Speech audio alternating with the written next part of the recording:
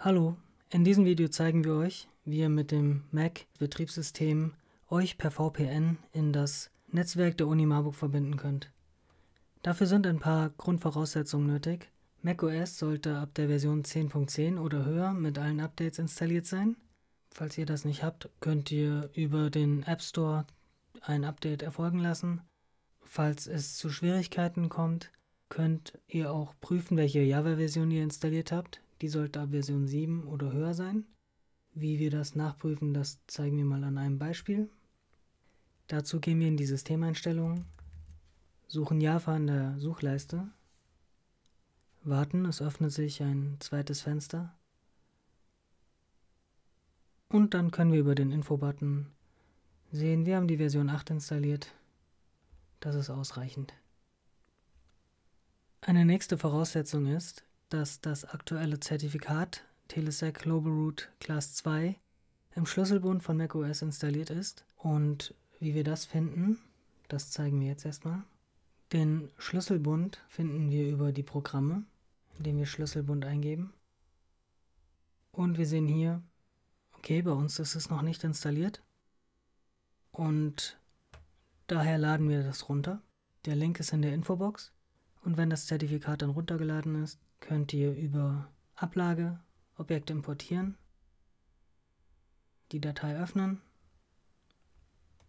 und nun sollte es unter Zertifikate zu finden sein.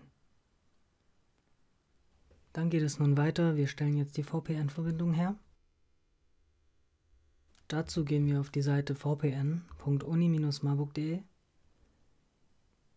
wählen unsere Benutzergruppe aus geben die Benutzerdaten ein und sehen schon den Begrüßungsbildschirm.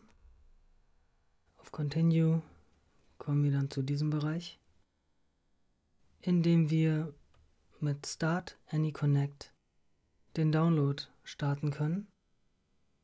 Wir laden die Software herunter.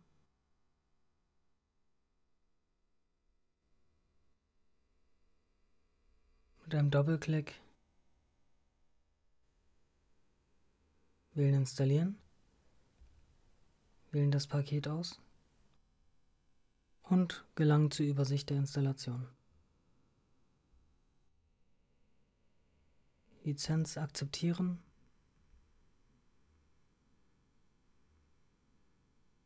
Das Zielvolumen wird übersprungen. Wir installieren es in den Standardpfad. Nun werden wir nach dem Administratorpasswort für das MacBook gebeten. Und die Software wird installiert.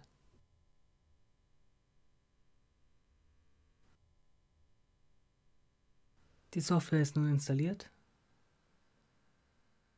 Und das können wir bestätigen. In manchen Fällen wird Cisco eine Nachricht einblenden und nach Erlaubnis fragen, Mitteilungen an den Benutzer schicken zu dürfen. Das kann man mit Erlauben bestätigen. Eventuell kommt auch die Meldung, dass die Cisco-Systemerweiterung blockiert ist. Wir blenden euch mal ein, wie man die aktivieren kann. Dazu wählt man im erscheinenden Fenster Einstellungen öffnen. Das Fenster Sicherheit wird sich öffnen. Dann unter dem Tab Allgemein unten links das Schloss öffnen mit dem Benutzernamen vom Mac. Dann kann man hier neben dem Hinweistext den Zugriff mit Erlauben bestätigen. Das Installationsprogramm meldet darauf hin, dass die Installation erfolgreich war und kann in den Papierkorb gelegt werden, wie wir das eben schon gesehen haben.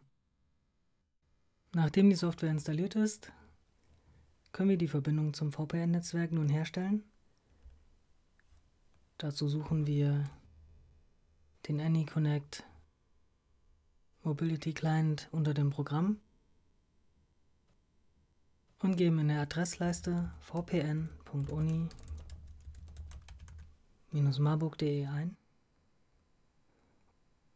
wählen die Gruppe aus und geben unsere Login-Daten ein und sehen den Willkommensbildschirm.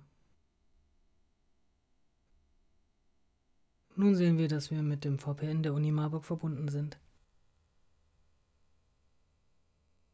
Das Symbol mit dem Schloss zeigt, dass wir eine erfolgreiche Verbindung hergestellt haben. Zum Trennen der Verbindung gehen wir auf dieses Symbol und wählen Disconnect.